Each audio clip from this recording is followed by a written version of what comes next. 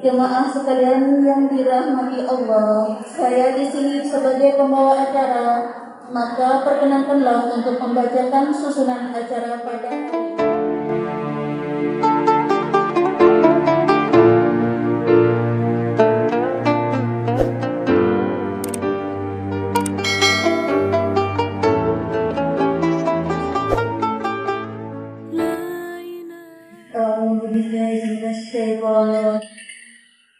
بسم الله الرحمن الرحيم الحمد لله رب العالمين وبه نستعين على أمر الدنيا والدين ولا حول ولا قوة إلا بالله العلي العظيم اللهم صل على سيدنا محمد وعلى آله وصحبه أجمعين أما بعد kepada yang terhormat Bapak Kiai Haji Abdul Muhammad Karim selaku eksekutif dakwah Islamic Union of Hong Kong kepada yang terhormat dedikasi Mahfawai selaku pelindung halaman Hong Kong kepada yang terhormat Ibu Santi Anggraini dan Ibu Wardi selaku ketua dan wakil ketua beserta seluruh jajarannya yang tak bisa saya sebutkan satu persatu.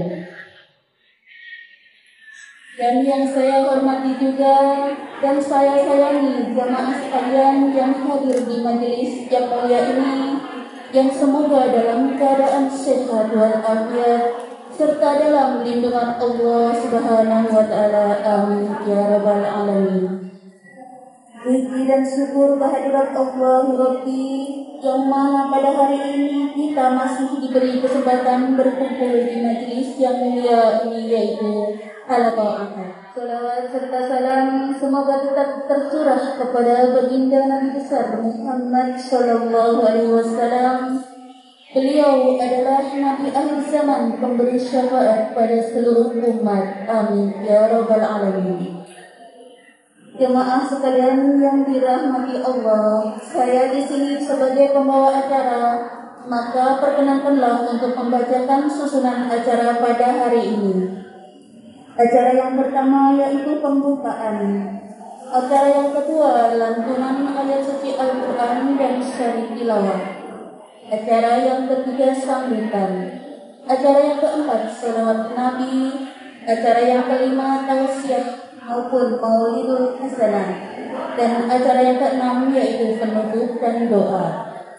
Demikianlah tadi susunan acara pada hari ini. Marilah acara yang pertama kita buka bersama dengan penutup surah Al-Fatihah.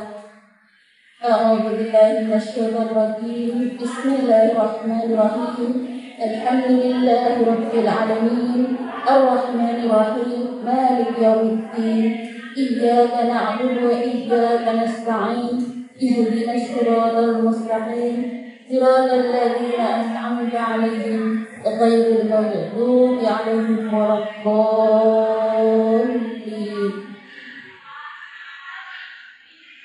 Alhamdulillah, semoga dengan dibacakannya surat Al-Fatihah tadi acara hari ini berjalan dengan lancar dari awal hingga akhir. Amin ya rabbal alamin memasuki acara selanjutnya yaitu lantunan ayat suci Al-Quran yang akan dilantunkan oleh Kiroah dari Halaqah Ahad.